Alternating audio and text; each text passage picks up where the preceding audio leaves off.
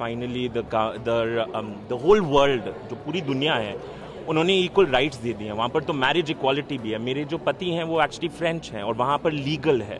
तो अब now it's better because now in India I also want the same right I also want my marriage to be recognise क्या हुआ? मेरी शादी हुई थी वहाँ पर फ्रांस में। धरती फटी नहीं आई ना। कोई अप, uh, कोई अर्थक्वेक्स तो नहीं आए पूरी दुनिया खत्म नहीं हुई ना। So that's it now it's very good